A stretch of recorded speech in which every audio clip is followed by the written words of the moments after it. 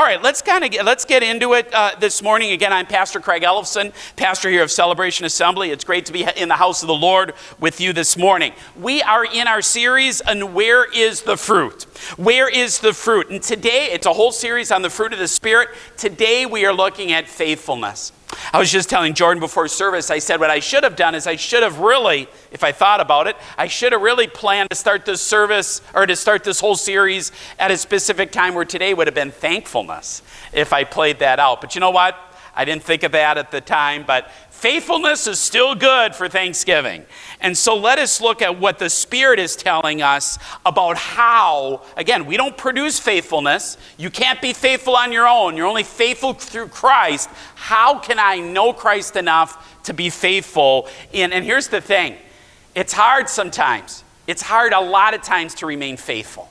I mean, I'll, you know what? The shocking statistic about how hard it is to be faithful is that even in even in our churches unfortunately the faithfulness of marriages is about the same as the world.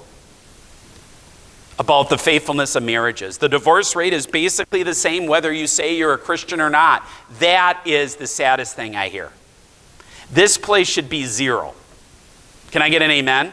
The church should be zero. Zero. Eh, eh, eh, god hates divorce god hates divorce period. Read the word I, am being honest with you. The, the church should be the example of zero divorces, and the world should look at that and say, I want that. You know, amen? The world, the, the world wants that. And so, anyway, we need to remain faithful through the Lord Jesus Christ, and through the Lord Jesus Christ, we remain faithful to what He has for us. And so, let us turn into our Bibles as we do every single week, or every single week during our during our series here to Galatians five so I'm not going to read the whole thing because of time, and we've read this enough times, but let's stand to the reading of the Word. If you have your Bibles or your phones or however you get the Word of God, there's Bibles in front of you. The Word is going to also be, uh, you know, in front of you up on the screen as well. But Galatians 5. And I'm going to I'm going to read a little bit, then I'm going to skip a little bit, and then I'll read. But I'll, you can you can follow along, and you'll know where I am. But we're going to start in 16. All right, so I say, verses 16, so I say, walk in the Spirit, and you will not gratify the desires of the flesh. For the flesh desires what is contrary to the Spirit, and the Spirit what is contrary to the flesh. They are in conflict. I'm sure we feel that. They are in conflict with each other so that you are not to do whatever you want. But if you are led by the Spirit, which we pray that we are by the leading of God, you are not under the law. Let's skip to verse 22. Let's skip the flesh part. We don't need the flesh part. Let's go to the spirit part. Verse 22 But the fruit of the Spirit is love, joy, peace, forbearance, kindness, goodness, faithfulness, which is today, gentleness, and self control. Against such things there is no law.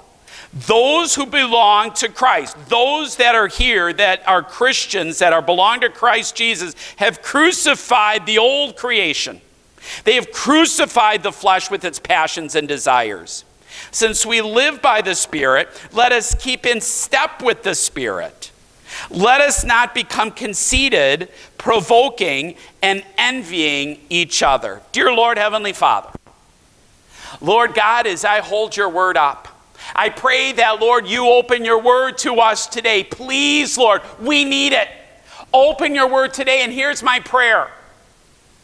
Many of us, me included, need to learn to be more faithful.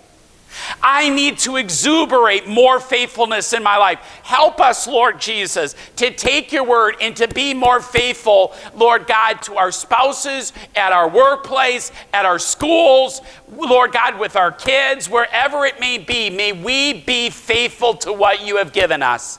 In your most holy name, amen. Amen. This message is for everyone. There is an area of our life I'm sure you need to be a little more faithful in. Well, and marriage just is the big one. That's the big one when you think of faithfulness, it's in your marriage. But what about at work? Are you just giving work half of, I mean, are you giving, are you just kind of half there at work or half there at school? and you're not really being faithful to what you have, you, God is, you know, God gave you your job. He's given you school. He's given you your family. He's given you this and that. And he, he wants you to be faithful in what he has given you. Our scripture for today for faithfulness is found in Deuteronomy 7 9. And it says this Know therefore that the Lord your God is God. God is good, but here God is God. He is, what does it say? Say it together faithful. He is the faithful God, keeping his covenant, keeping his promise of love to a thousand generations of those, basically, he's saying to all generations, to those who love him and keep his commandments. Amen to that. Faithfulness, here's, here, here's your space, here's a definition.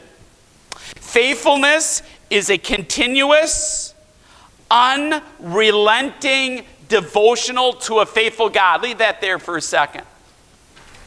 Faithfulness, if you heard nothing today, this is it. Underline it, underscore it, whatever. Faithfulness is a continuous, not a just one time act, not a just one time act at the altar or one time thing. No, it's a continuous, always doing it. Oh, I love the Lord, so you're continuing. Oh, you know, things are going well. You know, things are, whether things are going well or bad, it's a continuous, unrelenting. That means that you'll never stop. You never stop. I'm going to do it all the time and I'm never going to stop. I'm unrelenting. Devotion to a faithful God. Now, that looks easy, but it's not. Many of us really can be faithful when things are going well.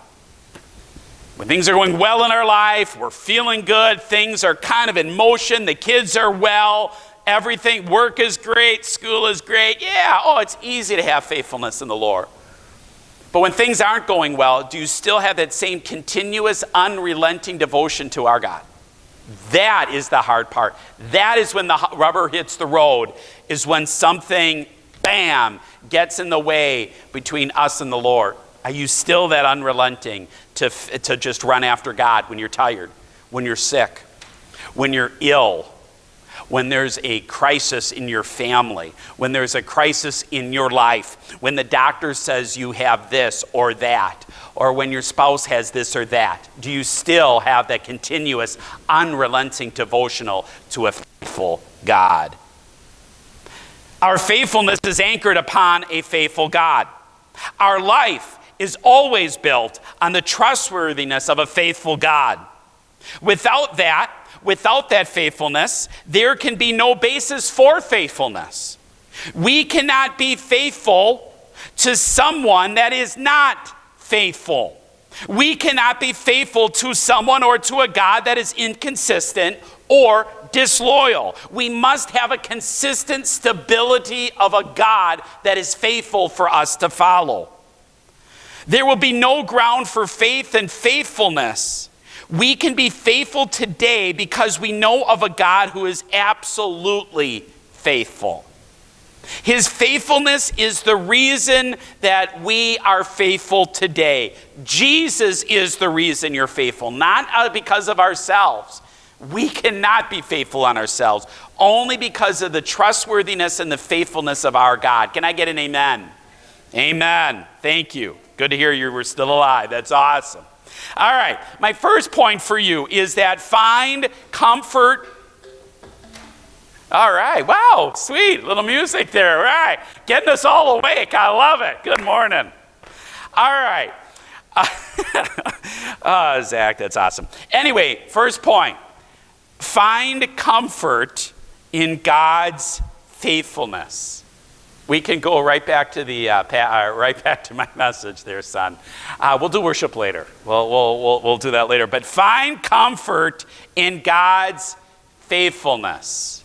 Amen. Amen. God is fully dependable. I'm sorry, I'm to have to. Is, oh, there we go. Okay, I thought there wasn't a problem with the computer. God is fully dependable. God is fully trustworthy. That must be a conviction of our life. You cannot possibly be faithful to someone you distrust. If you don't trust them, then you're not going to be faithful. That's why you need to trust God with all of your heart, soul, mind, and strength. If I allow unbelief or doubt to take root in my heart, faith in God will diminish, and so goes my faithfulness. You want your faithfulness built? You continue to follow the Lord. Feed on God's word. Feed on it. You want to know how to grow in your faith? Feed on God's word. I cannot say that enough. I say that all the time like a broken record because all of us probably do not read the word enough. The sad thing is, and I said this to our C group on Wednesday, or at least the C group I was in on Wednesday, that in the assemblies of God, we have taken surveys upon surveys upon surveys. And the sad thing is that the thing is is that what is hurting not just the assemblies but what is hurting the church the church as a whole is that even its people are biblically illiterate. Matter of fact even on wednesday last wednesday in our in our in our pastors group when we got together for prayer we were just so we are just so saddened to know of how many truly even believers don't really know the word I mean, I could probably come up here and I could say, I could, I could quote something and say Hezekiah 3 4, and some of you would probably try to look for that book. And it never exists. I mean, do you even know if, if I would say, you know, Opinions 4 3 or Hezekiah 8 4, do we know right away that's not a book? Do you know the books of the Bible? Do you know where to see them in the Bible? Do you know where to flip with them in the Bible? Do you know that if a crisis in your life, do you know the scriptures to run to? Do you know when there's a certain thing in your life which scripture will hold you fast and comfort you during that time? Again, the saddest thing that I've ever had in my ministry is when my wife was in children's ministry and they talked about Noah's Ark and they thought it was a ride in the Dells. They did not even know that own story. That is our kids. How, how do your kids know the Bible stories? Matter of fact, a lot of our kids don't even know where to turn in the Bible. That is our kids, our kids. Are we even doing our job as parents to letting our kids know where to turn? I mean, the kids in there don't even know where to turn, they don't have an idea. And it starts from us. Are we training the kids that where, where, the, where to turn? Where to go? That Noah's Ark isn't a ride in the Dells, that truly there was a Noah's Ark? Are we, because here's the thing if we don't do our job to the next generation, every generation's going to know less and less and less until it's gone. In my day, when my day, there used to be something called cassettes, and before streaming. And so on cassettes, you know, what, what you had your master. Now, you shouldn't have done this, but we all did this. You had your master. You had your master, whatever it was at that time, which let's say DC Talk. That was a big one I listened to in the day. DC Talk, but you wanted to make a copy of it. So you had a dual cassette thing, and you went from the original to the copy. Now, did it work? Yeah, it sure did. But if you listen to the copy, it just wasn't as good as the original. You know, now with DVD, well, DVDs are even old now, but with DVDs, it's definitely streaming. Even if you make copies, they'll sound expe- the same because it's all digital. But with cassettes, when you would go from original to a copy, the copy was a little faded. Then, if you wanted to make another copy from the copy, that'd even be more faded. And then, if you wanted to make another copy from that other copy copy, it'd be faded keep fading, fading, fading until you have nothing left. My fear as the pastor of this church and pastors of our community in the United States is that if we don't continue to give to the next generation, there will be a time that cassette is blank and we will be ungodly and not know the Father, not be fearful of the Father, and don't know his ways. And many, many, many, many, many, many, many, many, many people will die and go to hell. Do your grandkids know the Lord Jesus? Maybe your kids don't know the Lord, but are you teaching your grandkids about the love of the Lord? Are you teaching your grandkids about, about, the, about the Bible stories and, and loving on them and Jesus and, and Noah and Moses? And are you telling the generations to come? That is why I love my my father in law. My father in law is my mentor. It's Katie's dad. He pastors the church in Marinette, Wisconsin, the Assembly God Church, doing phenomenal things up there. But the one thing that he has always done, always done is he always uh, tells uh, the love of the Lord, and not even just to us kids who are all serving in ministry. And that's the thing, too, about a legacy is that all of his kids are serving in ministry, and that's a praise God report. Because my in laws were first generation Christians, and his love for the Lord was so evident that all of his kids are now serving in the ministry. And so that is awesome, and that's a praise God, and that's a legacy I think we should all we should all have and strive for.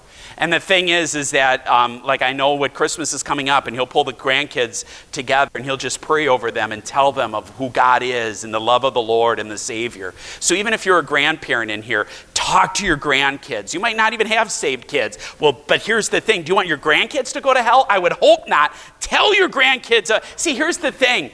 Here's the thing. Eternity is real. Eternity is real. And the thing is, is that it's long. But you're go- we're all going to go there. We're all going to go there, but where are we? So remain faithful into your love for the Lord and remain faithful of telling others about who the Lord is. Feed on God's word and build up your faith through the reading of the word. Become biblically literate.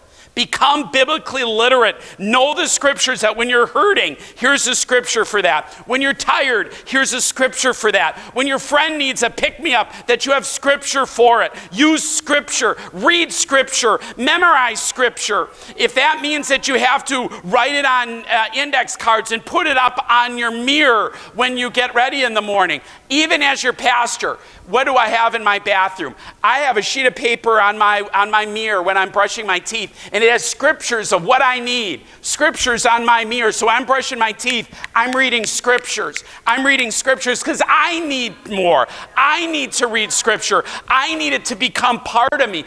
I want it just to soak me. I want it to invade me so that when the crisis hits, you're not like, oh no, Oh no, what was that scripture? Oh, I could really use that scripture. Oh my goodness, where is that?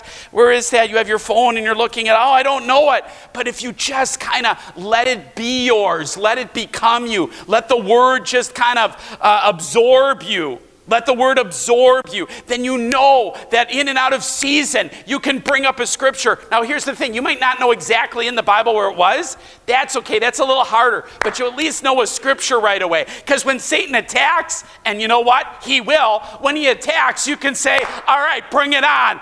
Bam, here's the word. Bam, here's the word. Bam, here's the word. Bam, here's the word. You have no authority in my family. You have no authority in my kids. You have no authority in the church. You have no authority in the family because greater is he that is in me than he that is in the world. You take that and you go where you need to go. You tell Satan where to go. And I mean that because we're in a spiritual battle in here. We are in a spiritual battle for the souls of our kids and grandkids. And we need to remain faithful to the Lord and what God has given us.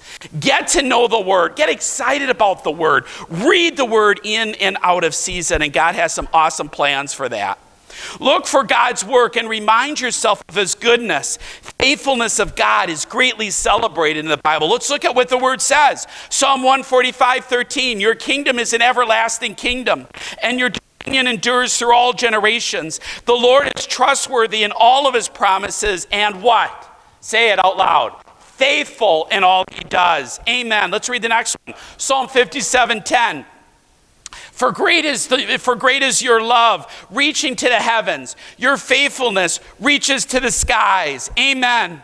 Psalm 105 says, For the Lord is good, and his love endures forever. His what? His faithfulness continues through all generations. 2 Timothy 2 11 to 13 says, If we died with him, we will also live with him. Hallelujah. If we endure, we will also reign with him. If we disown him, if we disown him, he will disown us. Now, I love this. If we are faithless, if we are faithless, he will remain faithful. Even if you fall, even if you cannot get up, he will remain faithful and always have his hand towards you. Why? Because he cannot disown himself. Because he cannot be something he isn't. Hebrews 6 says this because God wanted to make the unchanging nature of his purpose very clear to the heirs of what was promised, he confirmed it with a promise or an oath God did this so that by two unchangeable things in which it is impossible for God to lie, we have fled to take hold of the hope that is before us. May we greatly encouraged, be greatly encouraged. We have this hope. We have this hope of the Lord as an anchor for the soul, firm and secure. Amen? Amen. Get excited for the Lord today. His purpose is sure. God's will does not change. It doesn't need to. Why does, why, why does God will need it? doesn't because it is perfect. If he needs to make corrections to his plan, then he isn't God. He cannot be all wise and all knowing if he changes his plans. His promises or his oaths are sure, and they're yes, and they're amen. When, when he speaks, when he speaks, it's eternal. You have my word. God's given you the word, and his word will not return void. That's the thing about his word. It will never return void. They, they, his word goes and accomplishes what it said. So when you use the word, it's power. When you use the word, it's not like quoting from a, your favorite novel. No, those are dead words. They don't any life. But when you quote the words of Scripture, there is life, there is hope, there is healing, there is forgiveness, there is things you need in your life when you profess the word, there's power. When you profess the word, there's truth. Don't um, say only the word, you know, you don't have to come, but just say the word. What, the, what was that? Just say the word and you will be healed. Just even say the word, God. I'm not even worthy. The Bible says, I'm not even worthy, Lord, but just say the word. Just say your, just say the word, and I shall be healed. And his word is right here. Uh, here's, here's his word right here. Use his word. Let his word speak to you. It's the number one way God is going to speak hope and life into your life. God's purpose and promise, God's will and word will not change. Take it to the bank. Take it. Take it to the bank. It will not change. You see the extent God goes to to assure us of his faithfulness. Jeremiah 31, you can follow along. Jeremiah 31 says this This is the promise or the covenant that I will make with people of Israel after that time, declares the Lord. This is the promise that the Lord is making. I will put my law in their minds and write it on their hearts. I will be their God, and they will be my people. For I will forgive their wickedness and will remember their sins no more. This is what the Lord says He who appoints the sun to shine by day, who decrees the moon and stars to shine by night, who stirs up the seas so that its waves roar, the Lord Almighty is his name.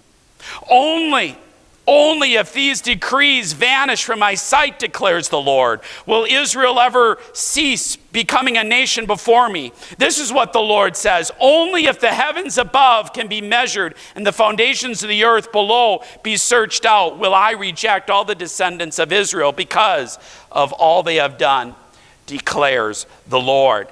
Now, God highlights the impossibility that his plans would ever change.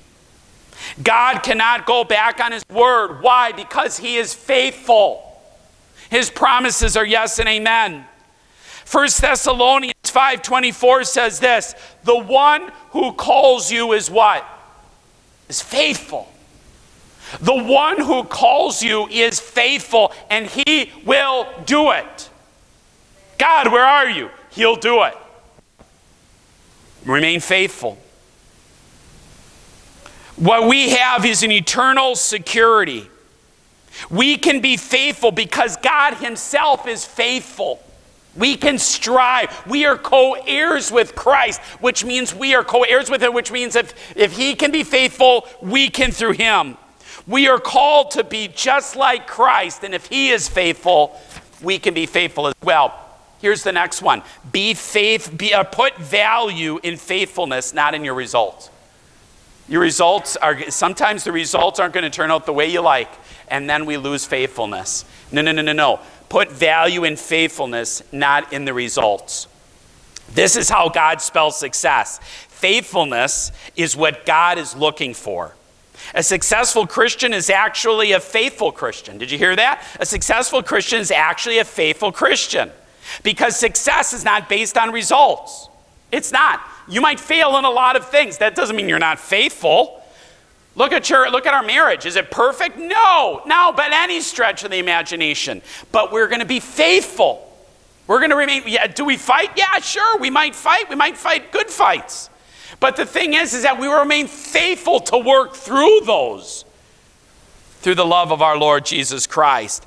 It's not based on results, but it's on your faithfulness. Results are the gracious works of God. Faithfulness is what we can offer him. Jesus emphasized in this in the parable of the talents in Matthew 25. Remember that? The context is very enlightening. In Matthew 24, he starts to talk about Jesus starts to talk about the signs of the times. Then later in Matthew 24, he talks about that the day and the hour we do not know. And then in Matthew 24, 45, it says this Who then is the faithful and wise servant, whom the master has put in charge of the servants in his household to give them their food at the proper time? It will be good for the servant whose master finds him doing so when he returns. Matthew 25 then talks about also the parable of the ten virgins. We need to be prepared, be faithful. I mean, Matthew 24 and 25 talk all about the faithfulness of God. He will surely come back. Why? Because Jesus is faithful, and He says, and He does. You can bank it, take it to the bank, and trust His word. Rest in God's faithfulness. Rest in His word. Rest in His promises. Rest that when He says yes, it is a yes. That is faithfulness. Later in Matthew 25, the parable of the talents. In the meantime, put to good use what God has entrusted you. When He comes back, you will hear this. In Matthew, if you remain faithful, this is what you're going to hear from the Lord in Matthew 25, 21. Well, and who doesn't want to hear this? Who doesn't want to hear this? Well done, good and what? Faithful, good and faithful servant. You have been what? Faithful with a few things, and I will put you in charge of many things. Come and share your master's happiness. Here's the thing when you die, and you're a Christ follower, and you die and you hear this, God could have said any number of things that you are, but no, He wanted to tell you specifically why you're in heaven because you are faithful. Not be, just because you're a good person that does a lot of good things. No, it's because you're faithful. And He says it twice. Well done, good and faithful servant. You have been faithful with a few things. See, here's the thing. So you're in front of the Lord Jesus, you made it into heaven. And he said, You have been faithful in a few things. He didn't say you've been good in a few things, you've been thankful in a few things, you've done. No, the one thing that he really is measuring here is that your faithfulness. Faithfulness, faithfulness, faithfulness. Now, here's the thing there are going to be times in your life, in your walk with the Lord, just in your marriage, you will fall you will fall. Something will happen. Either you'll turn away from the Lord, you'll walk away from the Lord, or just something happens. God's not looking at how you fall, He's looking how you pick yourself up again and you continue to go. At the end of Matthew 25, then he talks about the sheep and the goats. He identifies us by our kind deeds because that shows our true faith in being in Him. It is very clear from scriptures that God is looking for faithful people. Faithful, faithful, faithful. God's number one thing in heaven is well done, thou good and faithful servant. God told Noah to build an ark. Talk about let's talk about faithfulness for a second. Sometimes it's hard to sometimes it's hard to stay on a task for 5 minutes or 10 minutes. Sometimes it's hard to pray for 15. Let's see how long it took Noah to build an ark. It took him over a 100 years to build an ark and he never saw rain. Talk about faithfulness. Talk about faithfulness. Over a hundred years to build something, and he didn't even know what rain was or seen rain, but yet to build an ark. Many of us maybe could have held out for, like, okay, I'll give you a week. I'll give you a week. I will build what I can, and we'll see what happens. All right, I'll give you a, I'll give you a month. I'll give you a year. I'll give you now, but just think a hundred years. I would think that, oh, just think, just think at 95 years, you know what, I think I'm kind of done. I think I'm done. I don't think we're going to see this. Just think if Noah did that. Just think if after 95 years, Noah just said, you know what, you know, we try, you know, you know the mic drop? It's a, in his days, it was a hammer drop. He drops the hammer, and he just says, We're done. We're done. I was faithful. I, I, Lord God, I did whatever I could. I, I, did whatever I could. I, did what you've said.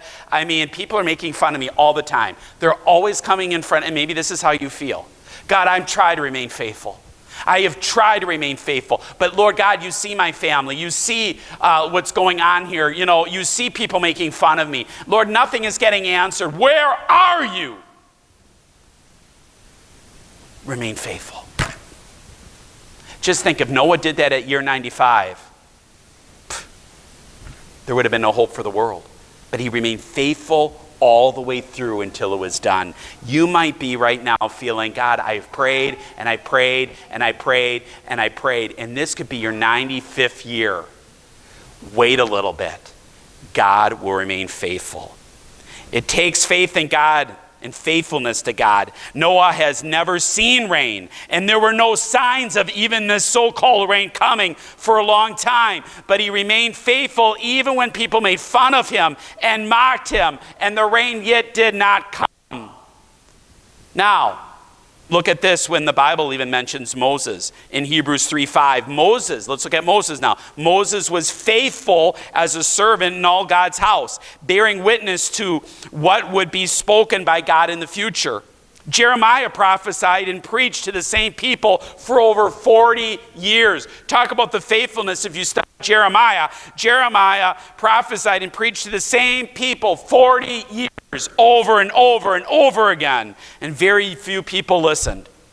But he continued to do what God told him to do and say what God told him to say to be faithful. Are you willing to do that? Over and over and over again. In our modern time, we can easily conclude that Jeremiah was a failure. But success in the world's view may not be the same success in, is defined in Scripture, and many times it's not. God wants our faithfulness, not our success. It's the next space there, son. God wants our faithfulness, not our success. We are not responsible for the results. We are responsible for our own faithfulness. Paul tells Timothy, 2 Timothy 2 2, he says this. 2 Timothy 2 2. And the things you have heard me say, witnesses and trust to reliable people who will also be qualified to teach others. A quote from, C.H., uh, from Spurgeon says this I know of nothing which I could what I which I would choose to have as the subject of my ambition for life than to be kept faithful to my God until death. Do you have the same passion as Spurgeon did? We're not called to be successful, church, but we're called to be faithful.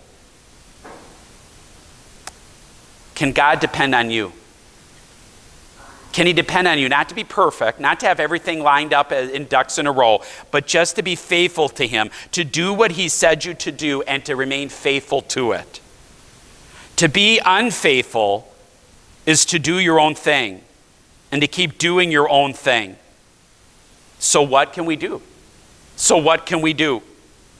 First of all, determine what God wants for you. Determine what God wants for your life. God has a calling on each one of your lives in this room. Each one of your lives has God as a calling. You need to discover that. How do I discover that? You keep seeking God. You keep reading the Word. You keep seeking what He has for you.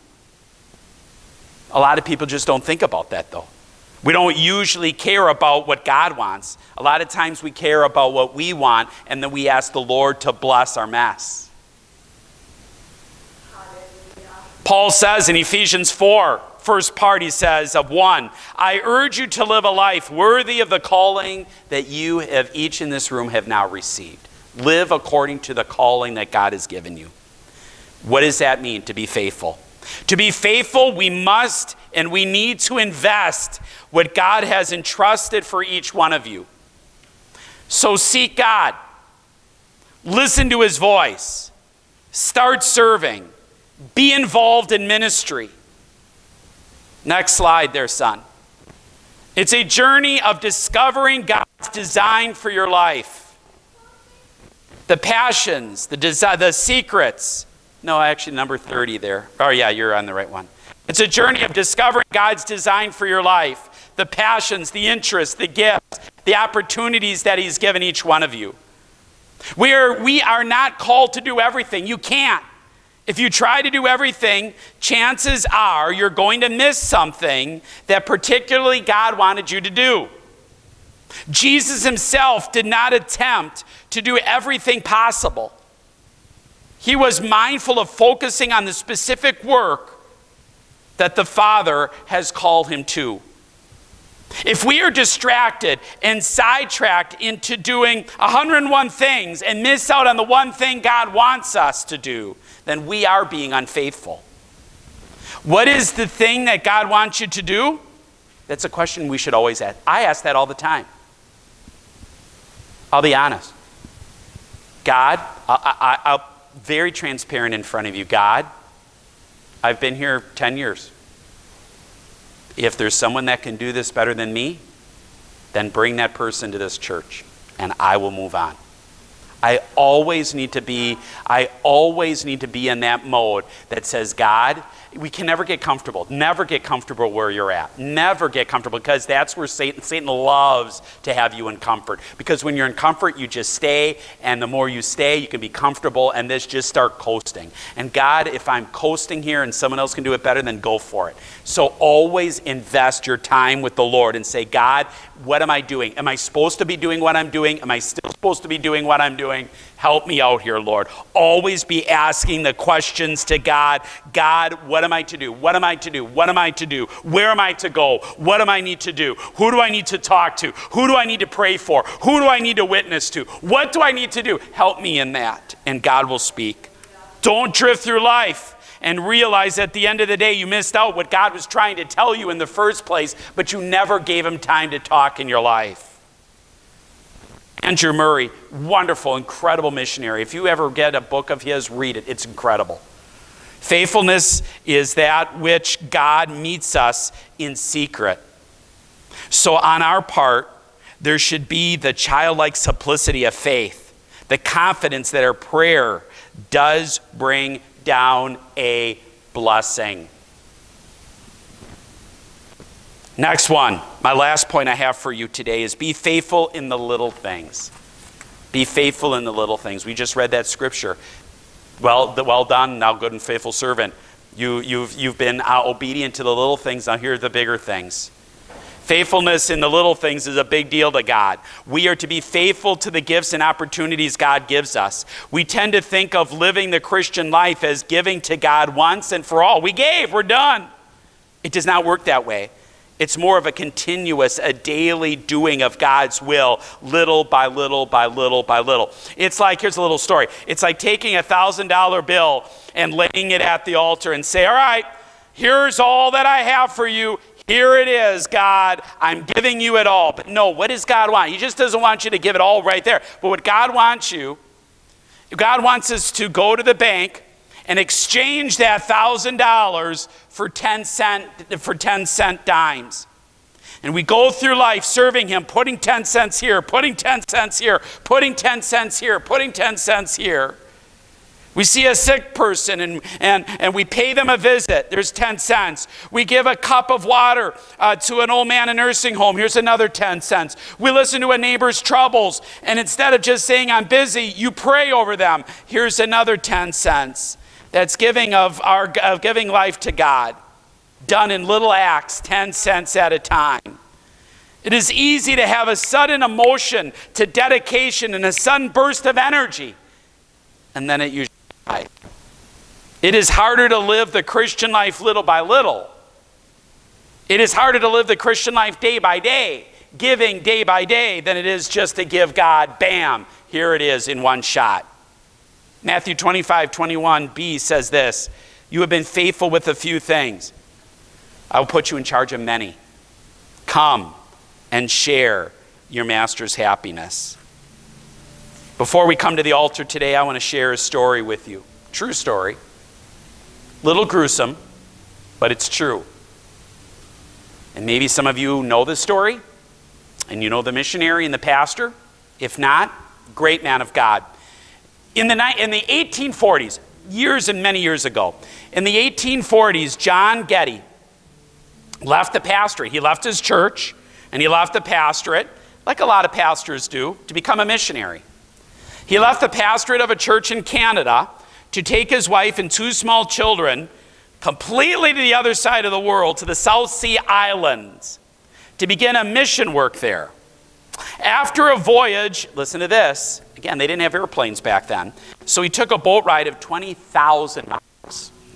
That is a long time. They arrived in the new Hebride Islands at Ant Aneityum. Now that's down in the Australian area, off of Australia. Canada, Australia. It's going to take you a while. God heard him and he answered God.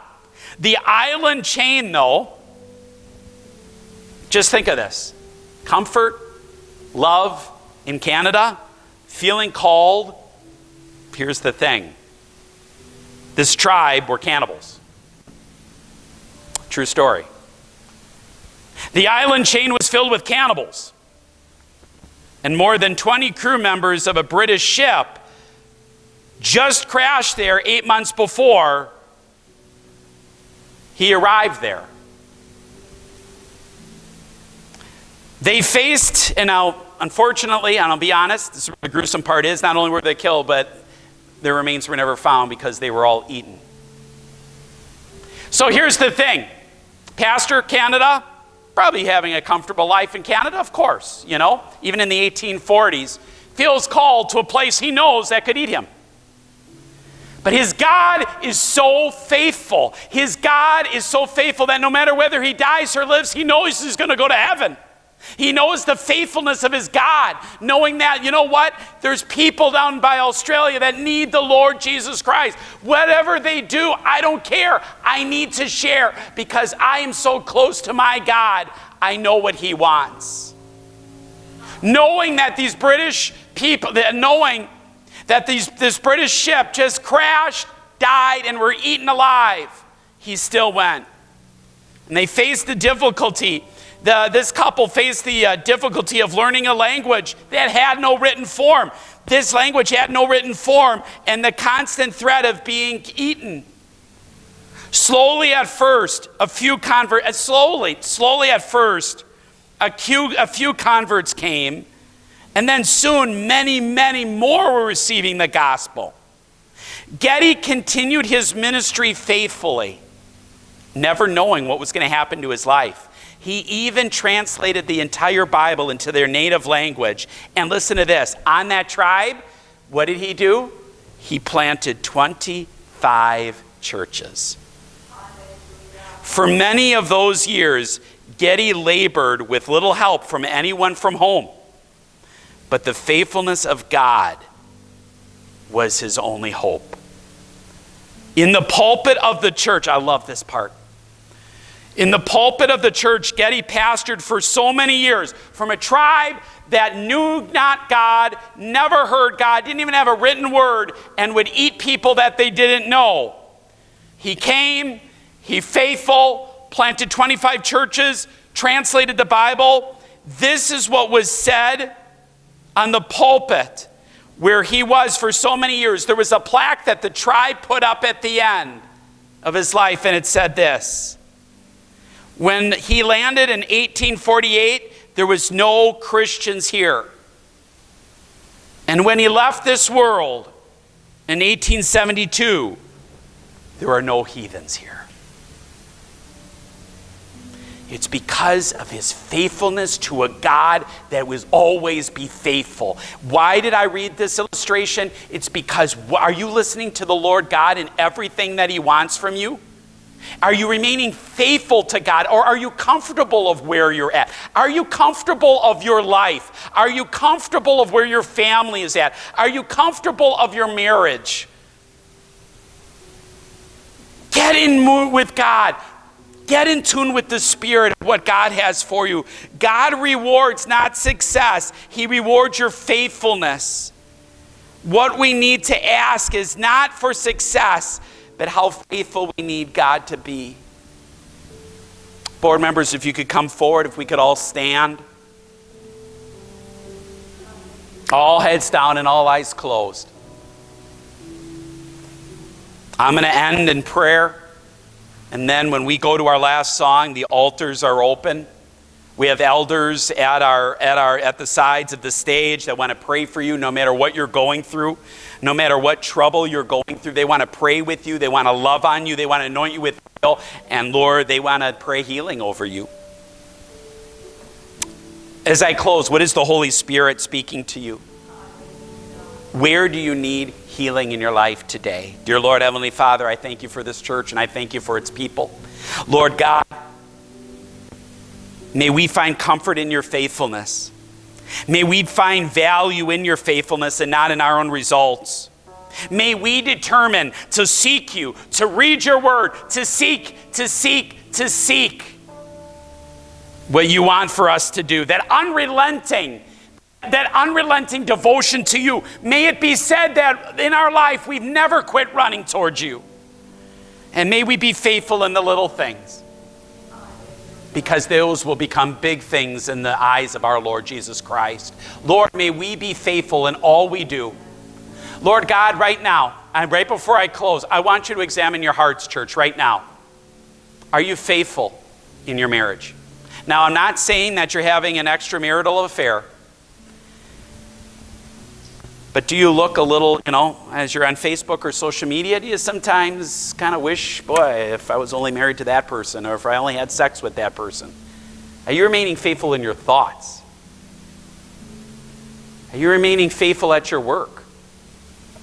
That's the job that God gave you. Are you remaining faithful in that until God moves you on? Are you remaining faithful? Or do you slack off a bit? Ah, you know, the boss, they got money. This company's got money. Who cares? Are you remaining faithful at your school if you're in school? Maybe you're drifting off, but God has brought you there. Are you remaining faithful in your family? Are you remaining faithful to your kids and your grandkids? I know it's hard, but life is short. I want it to be said to everyone in this room, Thou faithful servant, I have blessed you with small things, and now here are the big things. Bless our church. And may it be said that this church and its people are faithful. In your most holy name, amen. Amen. One last song. Altars are open. Let's pray to the Lord as we close.